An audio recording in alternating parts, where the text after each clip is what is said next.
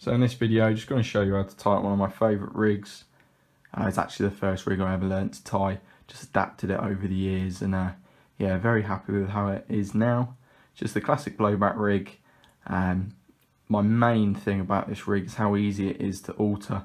So you can make it longer, uh, change the colour of the coated braid and it suits a wide variety of different fishing situations that way. So there's a couple of little things that I do differently to what you would have seen before. So I'll tie it up for you and yeah, hopefully you can put it in your own fishing, get some fish on the bank. So first things first, need to sort out the braid. So in this video, I'll be using the semi-stiff N-Trap. I've got that in gravel brown colour and the silk colour. I've been using that since I started fishing. I've got great confidence in it, really like the coating on it. But you know, whatever you've got confidence in, just go ahead and use that. I do like the semi-stiff version just because I like the idea of um, sort of it's less prone to tangles and it's almost got that reset uh, when a fish picks it up and maybe doesn't get hooked. So I'm going to strip off, I'll be using it over a gravel patch, so I'll probably have that about four to five inch long rig, um, but I'll strip off about 10 inches just so I've got enough sort of rope to play with when I'm making the knots. So of that 10 inch braid, I'll strip off five inches. So I'll do it with my teeth, but if you've got a stripper tool, use that.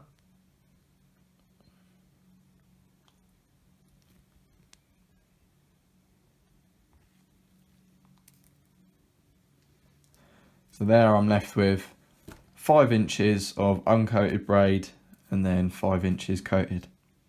So that just gives me a lot of sort of braid to play with and at the end of the rig I can adjust all the lengths and sort of trim it down to the length I want it. So what I'm going to do now is tie a little loop in the end just to form the hair. I know some people like to when they form the hair uh, actually put the bait on just so they know the exact length. But I just like to make sort of a standard length hair, usually just under an inch. And if anything, you can extend that hair if you need to uh, by use of sort of extended hair stops. A lot of companies do them now. So just trim that tag end.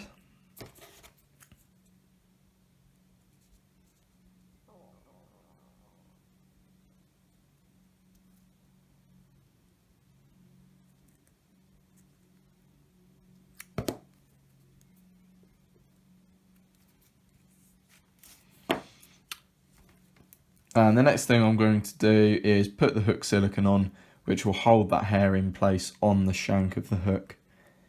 Now, some people use rig rings.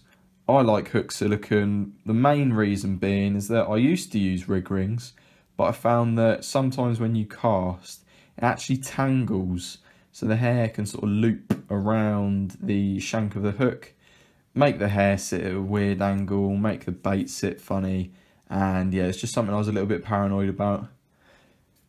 Whereas with the hook silicone, you know, it's going to be sat correctly on the cast. When you cast out, it won't move. So we sat perfectly on the bottom. And then when that fish does pick it up, blows that bait back, it will shoot back along the shank. Hopefully you've hooked that fish. But if you reel in and that silicone's been pushed down to the end of the hook, you know you've had a pickup and something's gone wrong. Whereas with the rig ring, it can sort of reset itself uh, when you're reeling it in. So it's just another little tip you can see if you're being done or not.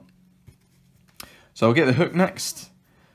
Here I'm using the curved shank in size 4, that's a Korda one. Um, I use the curved shanks a lot, I've got really good uh, confidence in them. Also, you don't have to use shrink tube with them, so that's saving yourself money as well. But I like to just use curved shanks.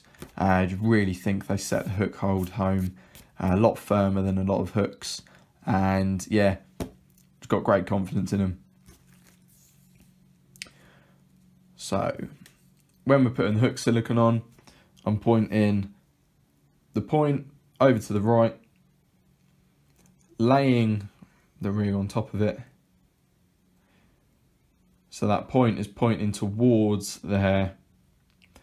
And then you'll put, just slide that hook silicone on.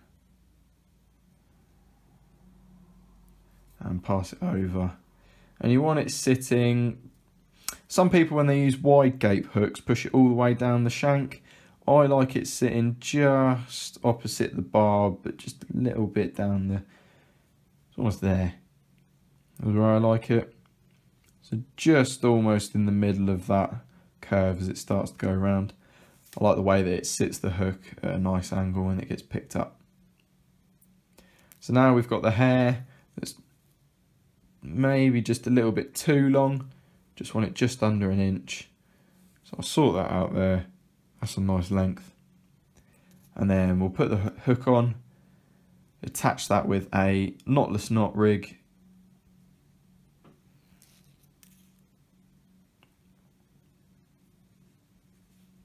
So I like to go five times up. And then just once over it, pass it back through the eye, going down, pull that tight, give it all a little pull, so I use my scissors. If you've got a puller tool, use that, I've got one, but just got my scissors to hand. I'll give it all a nice little pull down.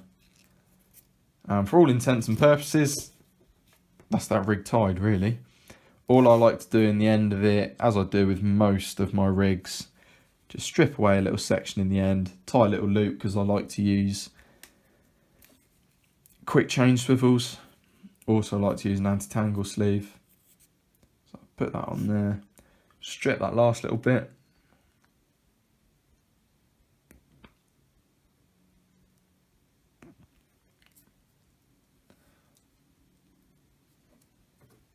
And then just tie an overhand figure of eight loop knot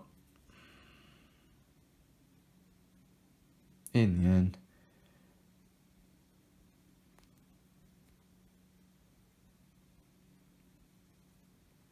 I use my needle again just to help me get it nice and neat.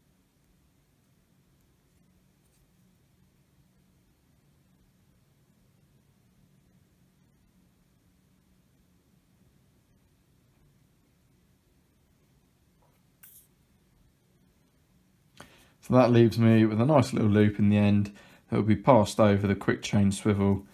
Give it all good pull, tighten it all down. And then that anti-tangle sleeve will just sit over that like that. And then you'll see that I've got, I'd say about two centimeter break there, which just gives that hook the movement it needs when it's in the fish's mouth to move around find purchase and set that hook hold. So as I said, if you were fishing that over a silty area, you could make the hook length longer. Um, obviously change the colour of the uh, braid as well, just to really camo that in. But that is a rig that will catch you fish. If you want, you can put a little bit of putty just where the coating starts. Not too much, not a massive blob. I just like to use about that much. So it's a tiny little bit, just so when that's in the fish's mouth, that'll drop and promote the hook to sort of set down. But on your hand, like that, and that sets. And sets. And sets. So that's brilliant little rig, especially paired with those big hooks, you know, that'll find uh, the perfect place in the fish's mouth to catch hold. And uh, yeah, use it, touch wood, you shouldn't drop too many fish cheers for watching. Hopefully that's shown you a little bit of something different. Uh, even if it hasn't, it's just putting more confidence into the rigs that you're using. So there's the few rigs that I use across these couple of videos I've just uploaded. use them, and yeah, go out and catch those fish. Cheers for watching, and I'll see you soon.